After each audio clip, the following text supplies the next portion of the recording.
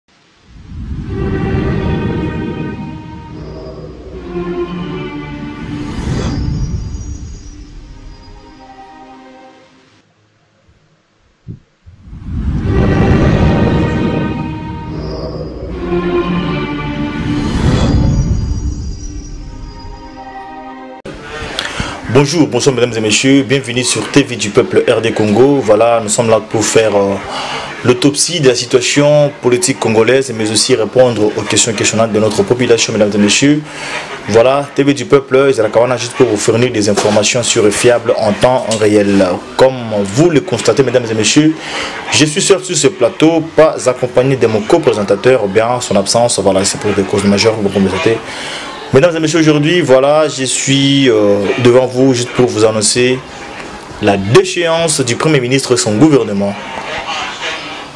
Boremaka Kiyango déjà, elle avait reçu l'invitation il y a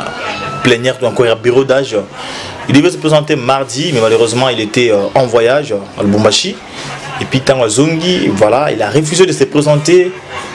à la plénière. Mesdames et messieurs, euh, quand bien même...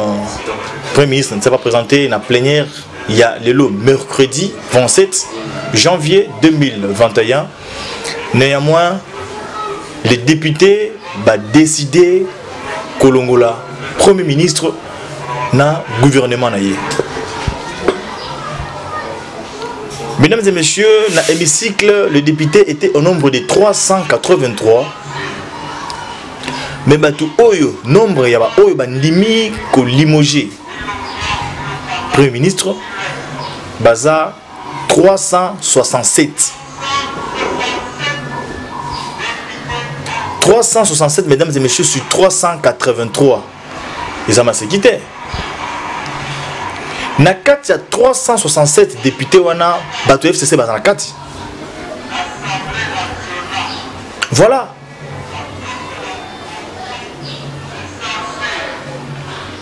quand le député décide de cette façon mesdames et messieurs c'est-à-dire que non bamoni ke premier ministre asali eloko te raison laquelle badécide kolongola ye eza pamba te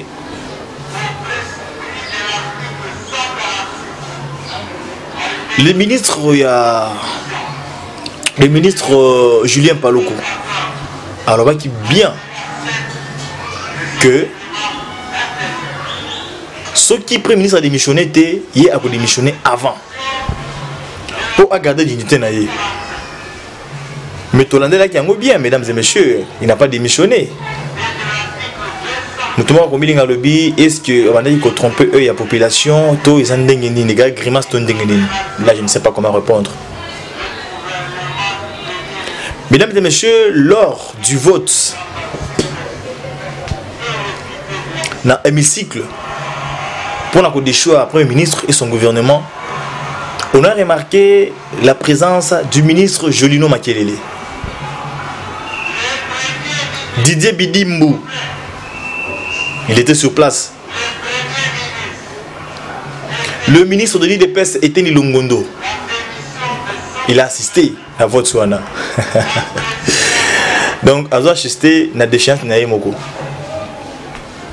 mesdames et messieurs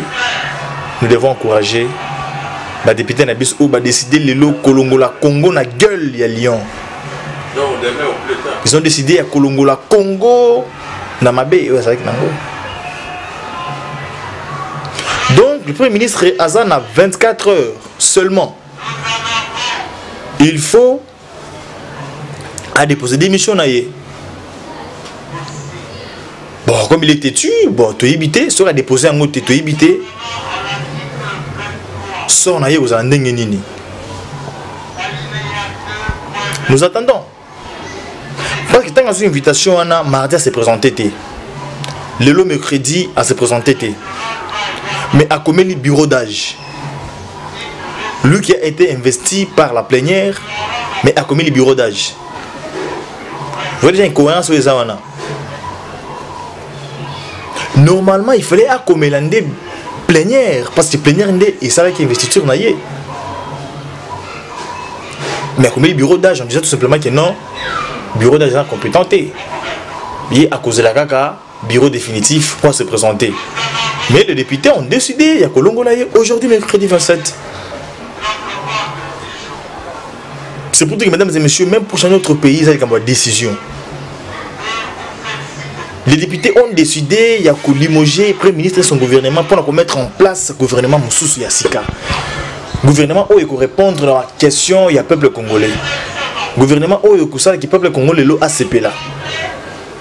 Voilà, mesdames et messieurs.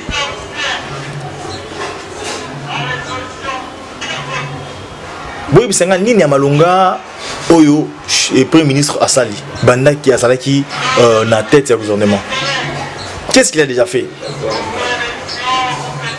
voilà or nous sommes en train de travailler contre la vision du chef de l'État, mesdames et messieurs,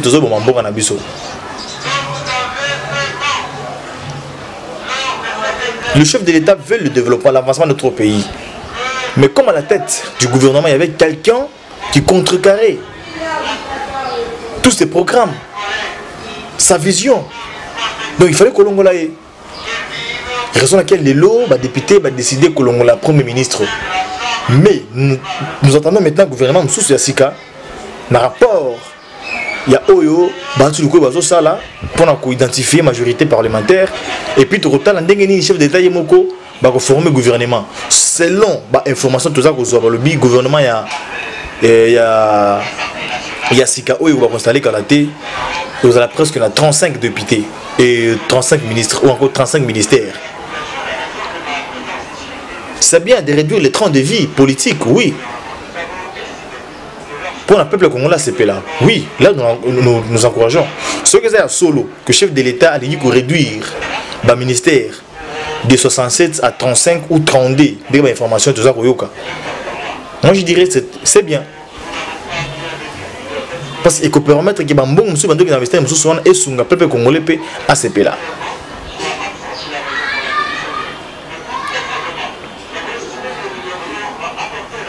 voilà mesdames et messieurs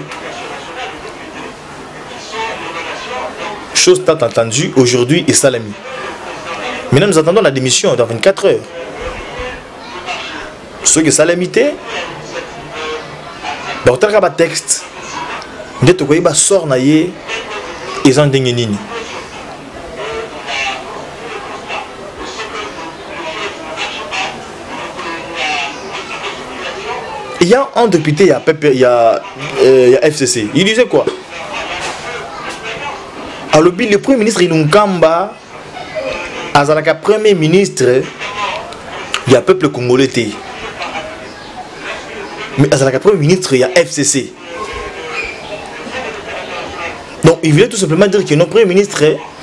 a serviraka nde fcc mais peuple congolais te d'abord chef de l'état azwi leçon prochain premier ministre je pense akozala moto ya malamu moto ya bien oyo oh, chef de l'état ye moko akotia parce que premier ministre ilunkamba c'était parmi bakombo oyo bapesa chef de l'état yango aponaka premier ministre ilunkamba en tant que professeur tokanisi peut-être akosala makambo ya bien parce que aza professeur il a travaille na sncc voilà parce que ebele mais malheureusement mosala na ezalaki bien te mais la chef de l'état il faut atala motu nini akoki kotia pour ke a répondre na baquestion to na baproblème ya peuple congolais mpo soki atie moto mosusu oyo akobanda korespecte vision na ye te to kosala politiki na ye te mesdames et messieurs wana sikoyo mabe nyonso ekoki la chef de l'état parce que là on ne parlera plus du premier ministre là maintenant on va parler chef de l'état minano wena wana bato bakoloba mbo parlement ndolo o sylvestre nkambo sylvestre alongwe o fcc balongwe sikoyo c'est l'union sacrée basali nini mesdames et messieurs biso nyonso toza baresponsabilité ya makasi oyo il faut to assume mpo na kosunga chef de l'état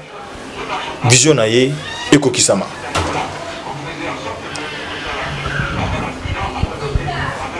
soki lelo tolobi batuli koyeba badepose rapport epa chef de l'état na rapport nao baidentifie majorité parlementaire tokozela suite tokozela suite ya malamu lelo bayebisi biso ke moïse katumbi na jean pierre bemba baadere sikoyo officiellement na union sacrée après baaltercation baescarmouche du côté poste ainsi de suite fin de fin ils sont revenus à la raison baadere na union sacrée officiellement lelo est ce que bomoni badepute balongwe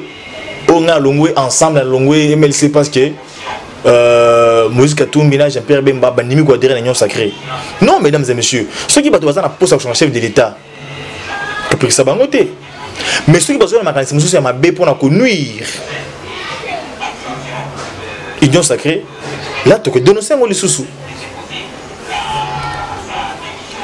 wana tokodenonce yango lisusu mesdames et messieurs ils sont venus basali adhesion na bango officielle na union sacré donc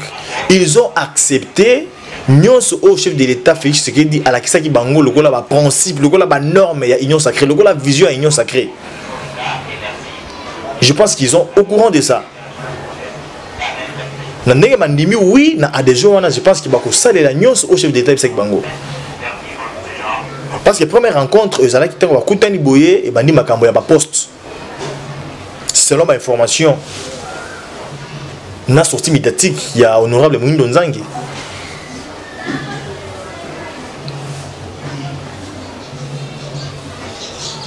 mesdames et messieurs c'est à dire que soki union sacrée ndenge eza wana eza constitution ya bato ya malamu bato oyo baza bolingo ya congo bato oyo balingi bolamu ya congo to avancement ya congo je pense que congo na biso ekoma malamu je pense que congo na biso bato bakolula yango meme bavoisin bakolula yango makasi pourquoi parce que biso moko tobao toza na souci ya kotonga yango nous, nous, nous devons mettre de côté ba intérêt na biso personnel soki ba député nyonso ba sénateur nyonso même ba ba ba ba, ba, ba prochain ministre batie de côté ba intérêt na bango nyonso tout eke batie intérêt ya peuple congolais liboso mesdames et messieurs même bavoisin na biso bakokamwa congo parce que ye moko chef de l'état félix tshisekedi azala na vision kobongisa mboka na biso Voilà, mesdames et messieurs. Et Lumkamba et son gouvernement, les lots, Bakoye.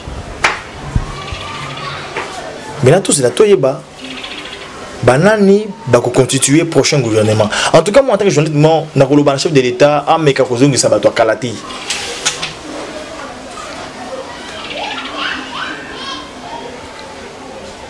sifa kotala bilan ya baministre to encore ya gouvernement elunkamba baministre mpena oyo basali mosala malamu omoi monsieur bankulu ya idps esili bankulu quand même fait un bon travail ou faisait un bon travail tous les autres ministres n'ont rien fait de spécial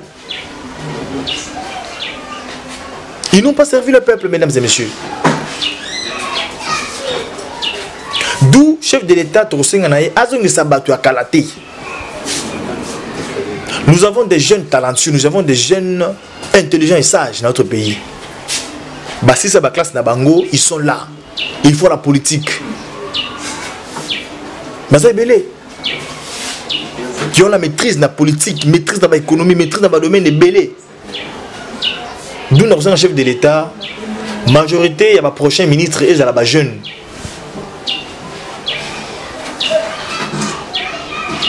tout ce monde ete basali bata na bango basali misala na bango ainsi de suite ekoki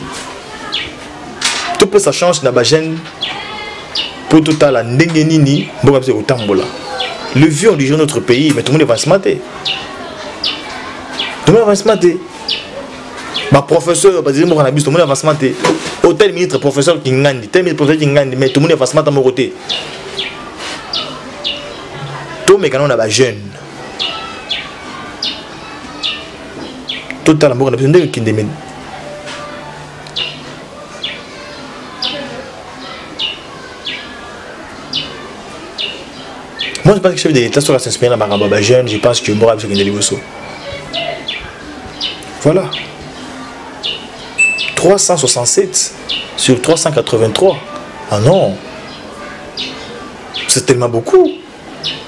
Donc beaucoup étaient contre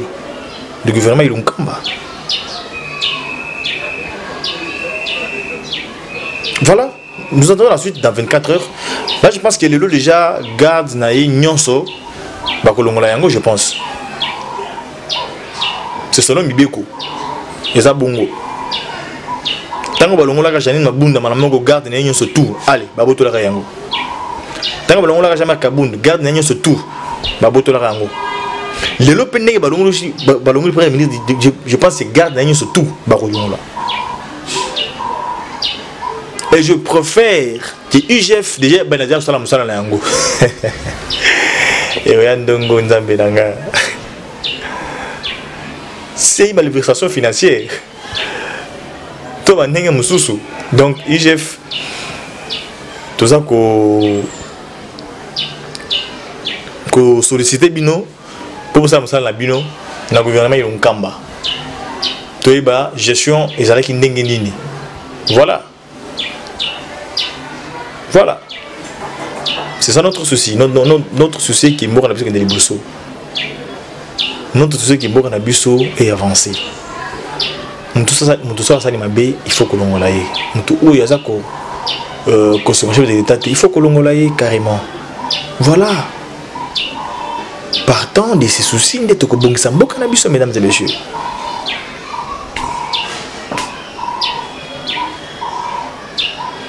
selon bainformation nazwi balobi l'union sacrée eza kopréféré jean marc kabund apostule na vice présidence ya perchoir ya assemblée nationale poste moko balongolaka ye nde poste mosusu bamosusu bazolinga azonga na toyebi te na perchoir yango première présidence bakotia nani